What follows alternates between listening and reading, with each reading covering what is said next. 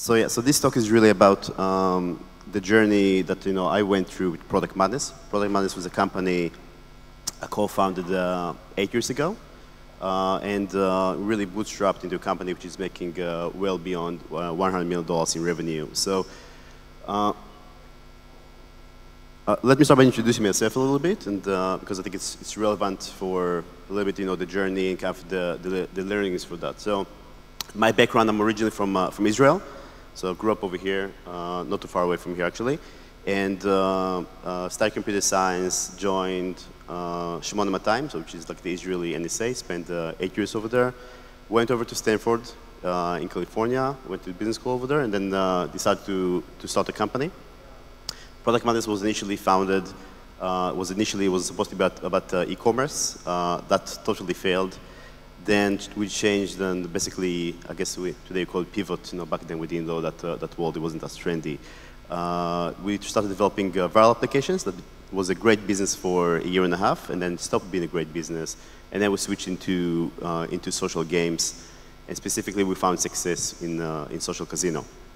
Uh, we sold the company three years ago to a company called Aristocrat, and since they managed to really scale the business, our biggest product is called Heart of Vegas uh, which is uh, doing very well for us. It's uh, top 10 grossing on Facebook globally. It's number one top grossing in uh, iPhone and iPad in Australia.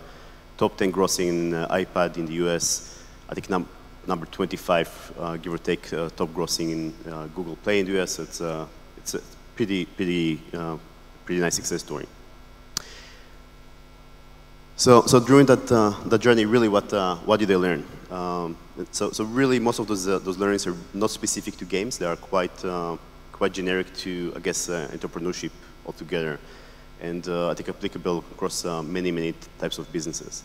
And of course, they're based on my personal journey. So that's kind of my perspective. It doesn't mean they're, they're right for you. And I'm sure you know, the other lots of smart people that will have different take on things. But at least that's what I took away from that, that experience.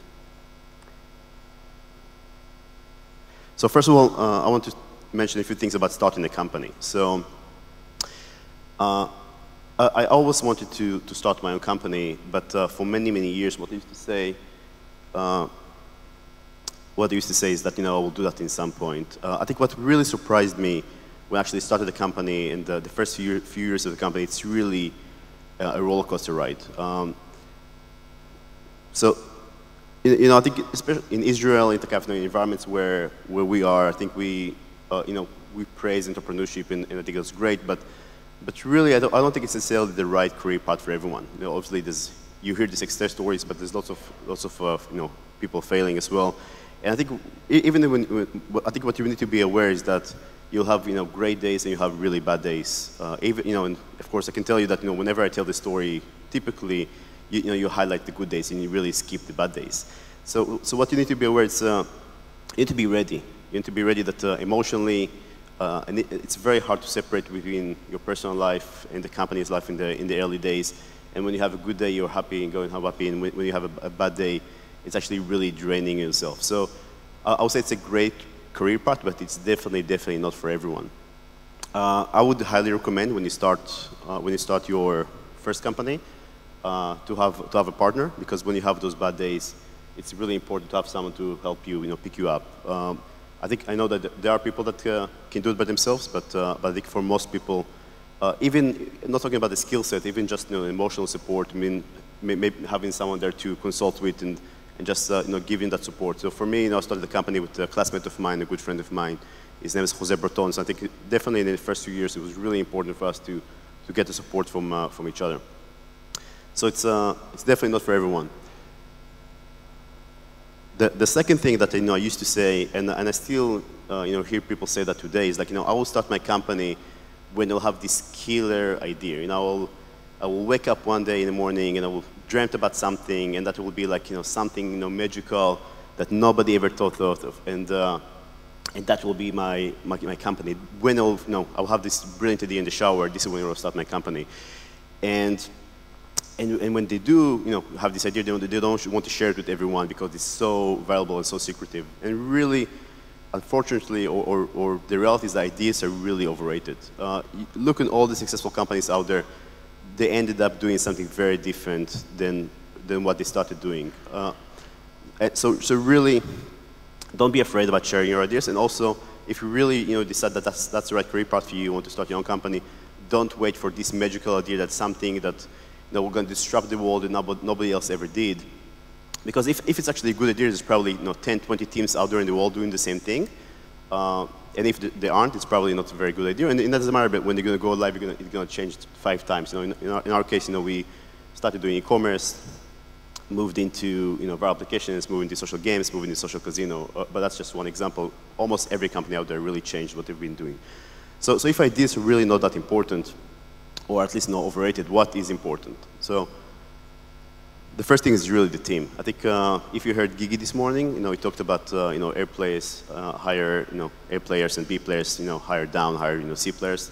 Uh, I fully agree with that. I think it's uh, it's it's probably the most important thing is really having having you know super super strong team, um, and and it's, it's about passion. It's about you know the skills. It's about the dedication. And uh, I can tell you, know, I also do a little bit of angel investing, and and the pretty much the only I guess th there's two things I'm looking to. One is really the team, uh, and the second thing is uh, is really my next slide, which is uh, which is the market. Uh, really, you know, when you have a great team, this, what, what, what, you need to make sure is that you have a good market. So, so what makes a market a good market? First of all, uh, size. Size as far as money. Now, if you have a great idea and, and it's about, you know, uh, a, a toy for uh, I guess for dolphins, it's probably not a very big market, uh, although it might be the best toys ever for dolphins. Uh, you want to have, you know, find a big market, obviously. Uh, mobile games, it's a, it's a big market. Uh, there's lots of other markets that are out there which are, which, are, which are very big. And ideally, you want to find a growing market. What happens when you join, a, a, I guess, a big market which is growing, or there, there, there are also opportunities. Uh, and, and, and really ecosystems emerge. And I think you know we, we live uh, the, the, social games, mobile games is really almost extreme example because of how fast those markets evolve.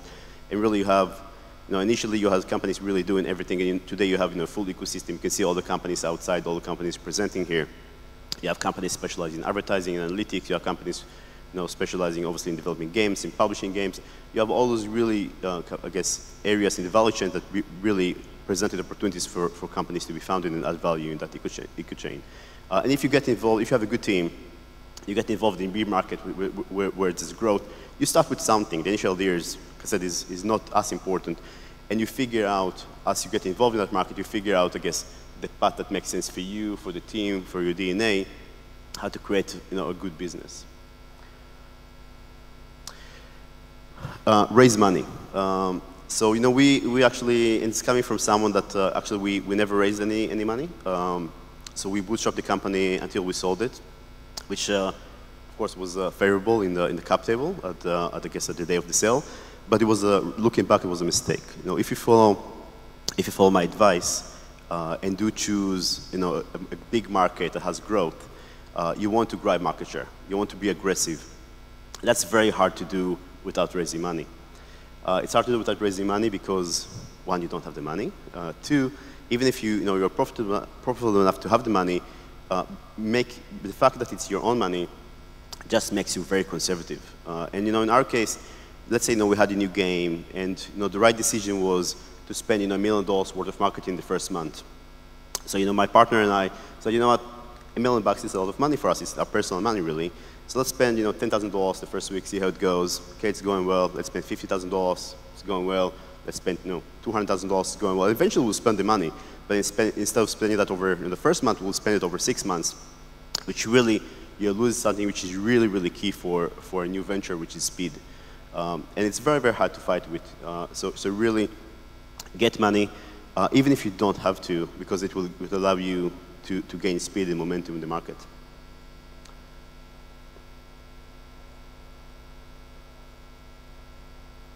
So a few things about uh, just about how to run your company, and, and of course this is uh, this is something which is uh, I guess evolving different as the, as the company is growing, and and your role as, a, as I guess as a founder or you know CEO of a company is really changing in a different stage of the company. Uh, so first of all, you know, I showed this uh, slide to someone and told me, yeah, you, you want to say that, uh, you know, running a company is really a marathon and not a sprint. So, so yes, it is a marathon, not a sprint. Um, but but, but also really there's lots of different things. You know, when the company is small, really you do everything, right? You do, you read contracts uh, and you, you know, you create graphics and you write code and uh, you do marketing and as you grow, you know, you have the ability to bring people to specialize in different uh, parts of the business. Uh, the one thing which is, uh, it, it sounds really trivial, but it's actually really, really hard to do is focus. And what's happening, especially if if you are in this growth environment and you are entrepreneur by nature, you will see lots of opportunities around you. you will look around and say, oh my God, you know, I can start, uh, you know, an ad network. Oh my God, you know, I can, I can become an analytics company. Or I can create this type of game or different product. And so I heard about this other company which is doing super well, doing this other thing. It's very, very tempting because, you know, if, if you have the, this, those, those, uh, those glasses, the entrepreneurship you know, glasses uh, that, that you're wearing, you will just start seeing opportunities everywhere. But the problem is if you will keep jumping between all of those, you'll end up basically achieving not that much. Uh, really, and it actually requires quite a bit of discipline, is to figure out your strategy, sit down quietly, figure out what is your strategy, which you believe, you know, after analyzing the market is the right strategy for, for you, for the market, for, for, for you know, the team that you have, and just then focus on that and execute. it's one of those things which sounds really easy, but it's actually really, really hard to do. And uh, I guess over time, I think we, you know, we, we learned how to do that much better. Uh, be, be liked. Uh, people enjoy doing business with uh, people that they, they like. Uh, you know, it's, uh, you know, it's, it's true for, for you know, your partners, it's true for your employees. and eventually, I think, you know, you, you want to create an environment that you, know, you enjoy being in as well. So, so really, uh, especially, you know, Israelis tend to be, you know, very aggressive. You know, create that environment, create that, that, that uh, you know, be authentic, be yourself, and uh, I think uh, eventually, you know, that will lead to people, people actually enjoying working with you, which is really important for, for you know, building your definition of, of your company. Uh, so I don't know if you know this guy. So his name is, is Pareto, and he's the, really the guy that uh, came with the, the uh, I guess this was the inspiration for the Pareto rule, which is really the 80-20 rule. So what it says is really that 20% uh, of the effort uh, creates 80% of the value, and the last 20% uh, takes 80% of the time. So especially when you're, when you're starting, you really have to focus on really the 20% that creating 80% of the, of the value focus on the focus on the on, on those key if it's game focus on, on your core game loop on the really the key of the product. Go live with that. Don't try to aim at least initially for perfection. Test early fail early and and really keep that in mind. So I think that's that's really useful. I think we there's there's a tendency to to overdevelop uh, especially early. And that's something which is really um, can, can, again, cost you time, time to market and speed, which is uh, one, of, one of the competitive advantages of, uh, of a company, of a startup. You're going to make mistakes. And, uh, and making mistakes is fine. Uh, don't be afraid of making mistakes. The only way not to, not to do mistakes is, uh, is just not to do. Um, so I think really try to, to, to I think, try to, to make decisions early. Uh, and it's okay if some of them are wrong. I think that's, uh, you, you, want most of them to be right. You don't need uh, all of them to be right. So really don't be afraid of making mistakes. We, we made a million mistakes, uh, you know, building the company. Uh, but hopefully, you know, we, we, we, had like more right decisions than wrong. And I think it was all surprised, you know, what a big buffer really you have, you know, when you build a company to actually do mistakes. So, so really don't be afraid of that. Uh, so this slide is really about two things. One is um, fire early. So I think you know when you build a team, uh, if you if there's someone who's, who's not a good fit, it can be it can be you know the best developer, the best artist, but if he has a bad influence, if he has a bad influence on the rest of the team, really don't hesitate and uh, and try to fire fire early because one person can, can really damage the entire environment and that uh, can be very toxic. So it doesn't matter how much you interview, I know how many, you know, the, your interview process and, you know, your filtering, the references, all of that, you always have bad hires. It's, uh, there's no way around it. Of course, you want to minimize it, but there's no way around it. I think the trick is when you find one, just really act quickly. I think, you know, we, oh, you know, over the years, you know, for, uh, unfortunately, know how to fire quite a few people. I think we never fired too early.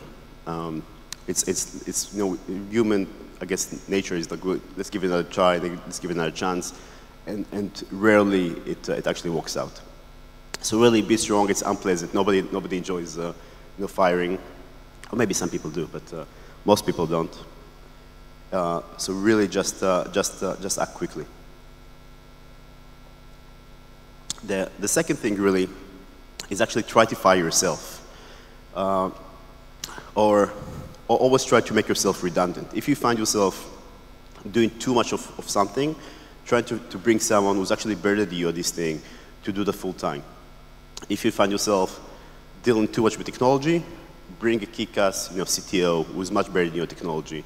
If you find yourself doing too much you know, business development, bring a professional business development person to do this for you. If, if you find yourself you know, doing too much marketing, bring you know, a great VP of marketing.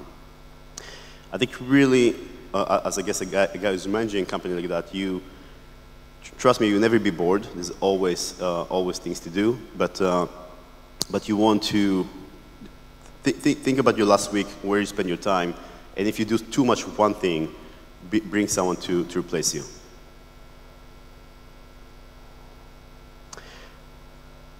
So, so what really is really important for you as, a, as I guess as a manager, a founder of the company to, to focus on? I think it's, I think probably the most important thing is culture, and, uh, you know there's a saying saying that uh, culture is coming from the top, and it's very much true. And even if the company is very small, there's lots of lots of little small situations that you are facing, and really your decisions will determine the culture of the company and how it will behave, even when it's maybe a grown-up company will have you know, hundreds of or thousands of employees. Um, what do you feel about working hours? Is it okay for people to, to come whenever they want, to live and live whenever they want, or is it okay for people to work from home or not? Uh, is it okay for people to uh, to play uh, games on the computers during lunch break or not? Are you okay with that? Uh, there's lots of, lots small decisions. Uh, now, what do you do when someone is late for a meeting? Is that, is that okay, or are you going to take a very harsh stand? And, and, and people will start behaving, the, the, people are always watching the way you behave, and, and the, the way what you be, what demonstrate to them, that's really what they're going to start following.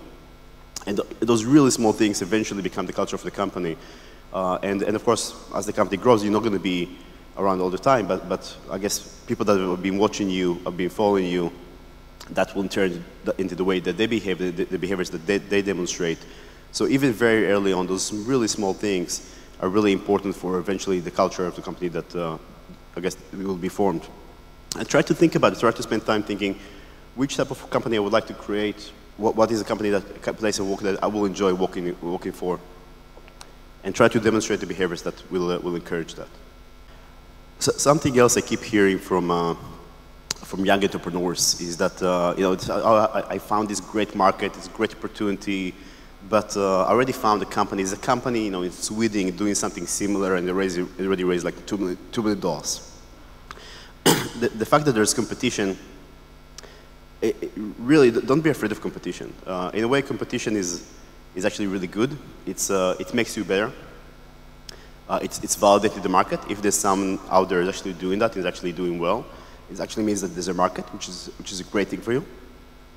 And, uh, and, and really, I think, I'm not saying ignore competition, you know, look at what they do. You can actually learn from them. You know, you might, might have competitors who are really smart and you can actually learn the thing too. Respect them, but don't be obsessed with them. You know, focus on your business, you know, stop once in a while, see what's happening out in the market, take some learnings, and then go back and focus on your business execute and execute and build you know, the best product and the best company that you can. And don't, don't be afraid that someone else is doing that.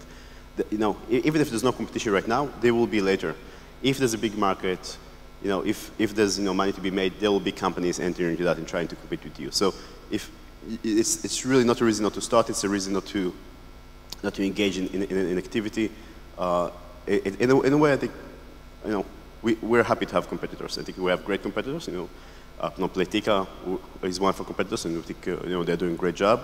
Uh, and there's lots of others, and uh, and we are happy with that. I think you know it gives us uh, you know someone to beat, and uh, and, and, a place to and, and a place to I guess for, to learn from, and, and you know they're they're learning from us and they're copying for us, and we have companies that uh, are copying from us, and, uh, and that's okay. That's, uh, that's really the rules of the game. So uh, I don't know if you have been to uh, uh, Sergio's talk about Agar.io. It's, it's a game by Miniclip, which did super well. we did super well in the last, I guess, the last few months. So really, in the game, you start as a small dot, and you can eat dots which are smaller than you, and and as you as you eat the, the, the, dots, you become bigger. And what's happening is as, as you become bigger, you also become slower. And that's really, uh, I guess, the, the, way companies work as well. Small companies uh, will always be faster than big ones. So, so go, think, talking about, again about competition, if you see a big company in the space say, you know, oh, there's no way for me to compete you know, with you know, IBM or whatever, whatever this, this company is, you should always remember that they're going to be slow because they're big. And I can tell you that when we, as we grew as a company, we became slower. Unfortunately, it's very, very hard to, to, to, to not become slower as we become bigger. So this is why there will always be room for, for new companies, there will always be room for innovation. And this is why innovation typically comes from smaller companies because they, they, they are more agile, they can move much faster. And uh, so, so really, don't be afraid of, uh, just be aware uh, use your speed because you know when you're small, that's really a competitive advantage. Uh, and, and don't be afraid of the big ones because they'll be very slow to move. So luck. So really when I say luck, uh, I'm talking about really anything which is under, not, I guess, external and we don't control. Uh, and, and you know what? There's lots of, lots of things like that in our life. And, uh, and lots of companies that uh, have been lucky and have been unlucky what, what it means that one, if, if you become successful, first of all, be humble. You know, probably you also have been lucky. You have been, of course, you want to maximize your chances of being lucky. You want to try to be in the right place, the right place in the right time. But, but you know, eventually you do, you do need some luck. Uh, if, uh, if there's a company that has been developing uh, mobile games just before the iPhone went live, if, if that, the, you know, the person running the company will tell me, you know, I analyze the market, I figure out, you know, Apple is about to release a new phone which can be touch-based and going to become like a great, uh, you know, gaming device. I would say, you know, that's, that's an amazing analysis and, uh, you know, obviously, you know, you earn the success. But if it just happened to be that, you know, they, they, they did that just before the iPhone went up, you know, they've been lucky and that's great. But you do need to be humble and understand that, you know, you have been lucky. Um, and in the same way, companies you know, can, can, really become unlucky. You know, we, you just happen to you know, take the, right, the, the wrong turn or rely on something that external that happened or was a change in regulation or whatever that was. And that's okay. So I think, you know, if you, if you become successful, just, you know, keep that in mind and, and, and be humble because really there's lots of things external that really help that. If you fail, really don't blame yourself or don't blame only yourself because there's lots of things really around you that probably contribute to that. So so really, when you look at other companies, we look at yourself, just, just always keep that in mind. Uh, you know, we don't control anything. Uh, and probably the most important thing, you know, because it's, uh, it's not an easy, it's not an e easy journey, but, uh, you know, we live only once. Uh, and we spend so much of our, of our time, you know, in the workplace. So we, we better enjoy what we're doing. So, you know, we need to, if you find yourself that you're not enjoying what you're doing, you're not enjoy, enjoying the ride, you're not enjoying the journey, no, do something else. It's, uh, it's, uh, life is just too short for that. So, uh, so really, through this roller coaster, I, I, guess it's, it's for you if you, if you enjoy roller coasters. And uh, if it's not, that's, that's okay. Go, go do something else. Uh, but uh, yeah, that's pretty much it. So um, I'm happy to open the, the floor for questions. Thank you for the great talk. Uh, you were talking about the uh, the way you behave in the company. Which approach did you take starting a game company? so, so approach is what, how to behave in the company? How to behave as a CEO of the company, like giving, like letting people do whatever they want. Uh, I, I, and, think I, I, would like and arrive on time for meetings. so, so, you can ask all the guys over there; they can tell you. But uh, it doesn't do that. no, I, think I would say that we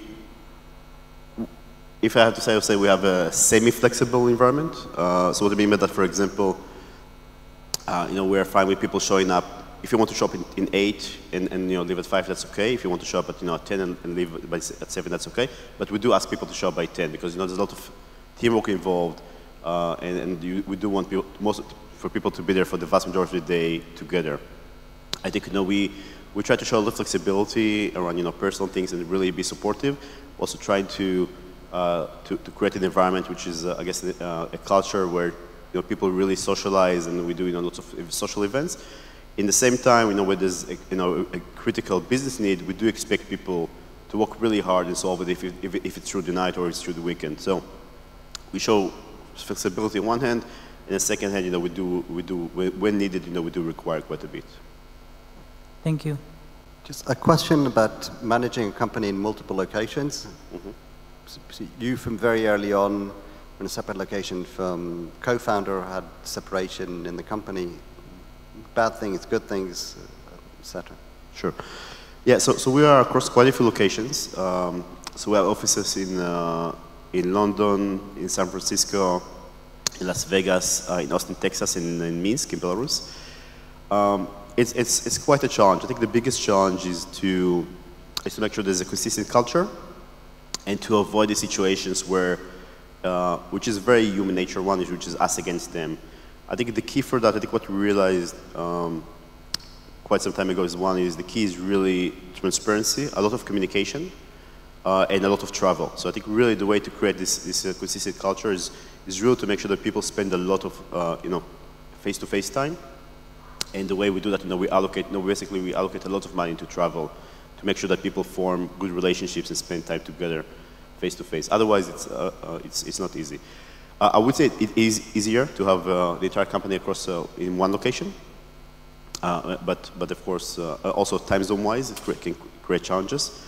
Uh, but uh, you know, we do enjoy you know being in a few locations as far as access to talent and as far as access to, to different partners.